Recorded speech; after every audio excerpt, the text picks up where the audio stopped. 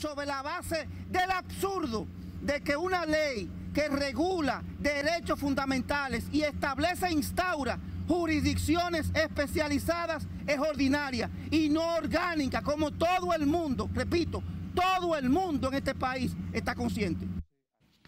El presidente del gremio, Miguel Surún, depositó un documento en el Senado de la República que contiene la posición de los abogados respecto a la pieza y advirtió que la organización se mantendrá vigilante mientras el proyecto de ley esté conociéndose en el Congreso Nacional.